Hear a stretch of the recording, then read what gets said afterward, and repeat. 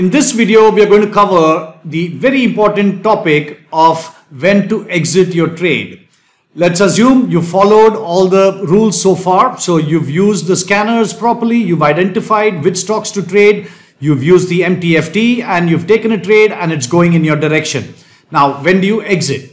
This is where the custom RSI indicator comes in. You can stay in a winning trade longer.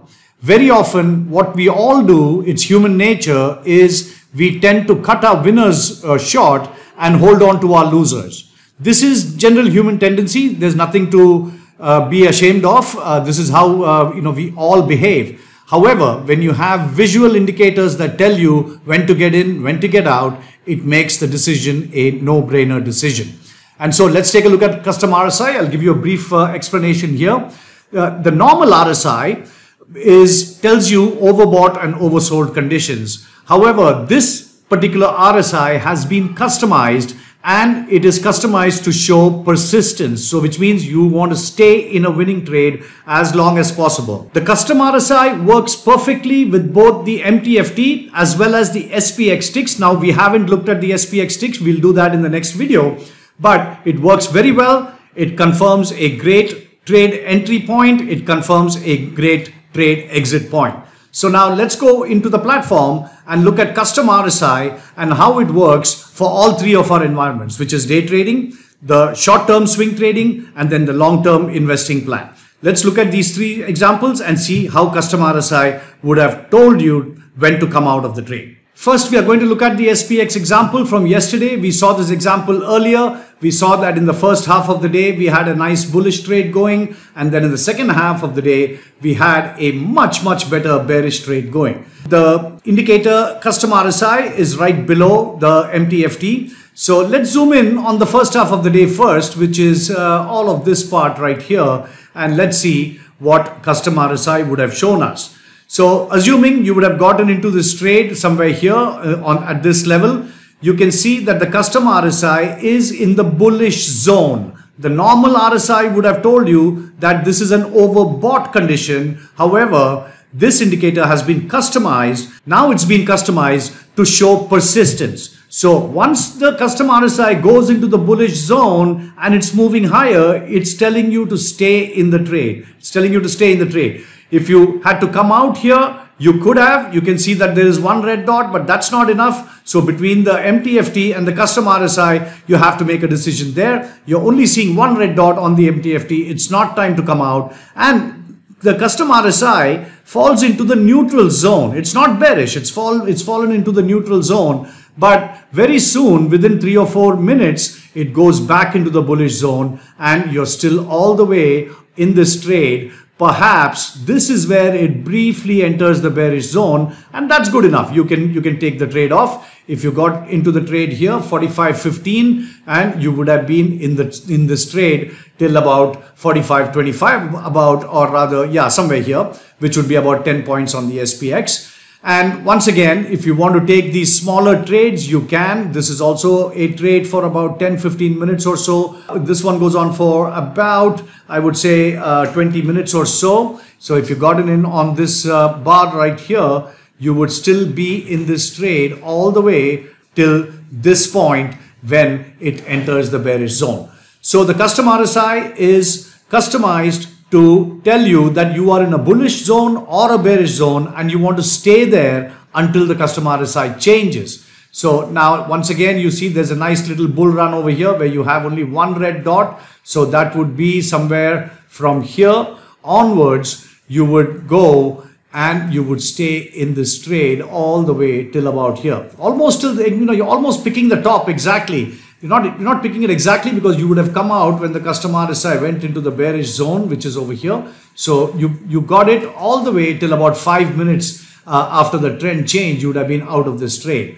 Now let's take a look at the second half of the day. And here is where also it is extremely helpful indicator because if you got into the trade somewhere here, when you see, when you see all five are aligned and from there, you can see the custom RSI briefly goes out over there and even if you exit it that's fine. Uh, you know you can uh, always get back in and once you saw this again your the, uh, the trend is starting to develop and it's going deeper and deeper. And that's telling you that you know you want to stay in this trade. The MTFT is telling you there's only one dot that is not aligned. That's fine and you want to go all the way till about here here the custom RSI goes into the bullish so maybe that's the time you exit so once again we saw this this was about a 50 point move on the uh, SPX and custom RSI allows you to stay in this position for as long as possible. So this is how it would work in a day trading environment. Now let's take a look at the other environments as well. Here we are looking at our short-term swing trading. So which was a trade of about two weeks, three weeks, something like that. So you can see that last year around September, we entered a bearish mode. And of course, there were some bull runs over here. But if you were, uh, let's say you were in this trade for about a week or two weeks, you can see the custom RSI also is uh, persistent over there. So let me move it back and we can zoom in and, and check this out. So here, this trade would have lasted you about eight to nine days. This trade would have lasted, uh, I would say about 13 to 14 days because it doesn't include weekends. So this is once again, your custom RSI is showing persistence. And until you see this change, there is no need to come out of the trade. So there's two ways you can look at it. If the MTFT shows a clear change in trend, which is two or more rows going the other way, you want to exit the trade.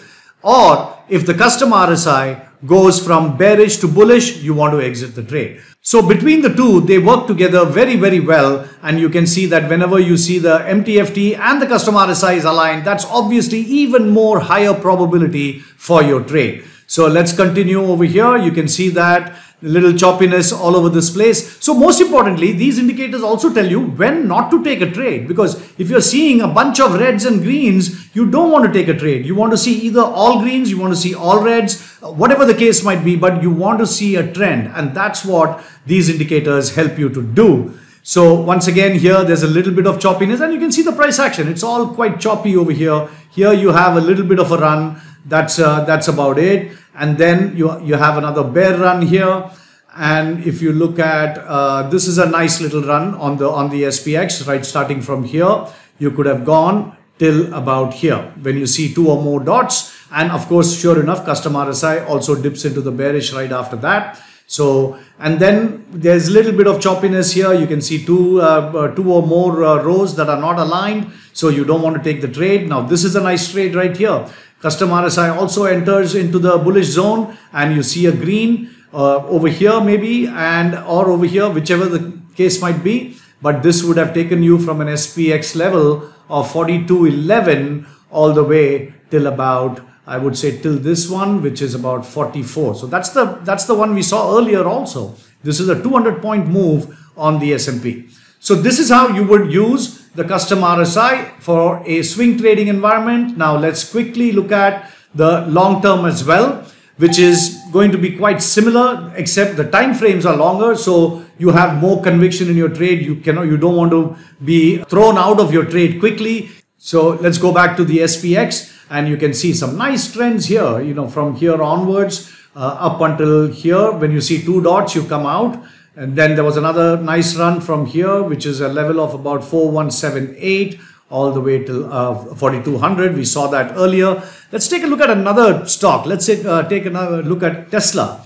So Tesla of late has been sort of bearish or rather it's, it, uh, there's no signal there. So you don't want to get into Tesla at this point. You know, it needs to show a clear trend. But before this, you saw that Tesla was very bullish from here all the way and if you saw the two dots over here, but the custom RSI really doesn't tell you that you should be getting out of the trade. So even though you see two dots, if you want to be safe, you come out of the trade, no worries. But if you were hanging there, you would have gotten a little bit more reward. Let's take a look at another uh, stock right here, Apple. Apple has been bullish, uh, except for the last uh, couple of uh, you know week or so. Uh, it's been bearish. But otherwise, you had some fantastic runs on Apple uh, also all the way going back uh, to last year, really. I mean, you had some fantastic runs. Look at this one from about here, which is uh, 151. It goes all the way and the custom RSI is in the bullish zone uh, all the way till about here. And if you wanted to get out of the trade here, when the custom RSI dips, that's fine. But on the MTFT, it is still only one dot. So you could have remained in this trade till about uh, till about here when you see two dots that's the time to come out there's no point in taking the risk on the trade the indicators have given you the best possible uh, information, which is when to get in and when to get out. And if you're capturing 80% of the move, 85% of the move, that's a fantastic trade.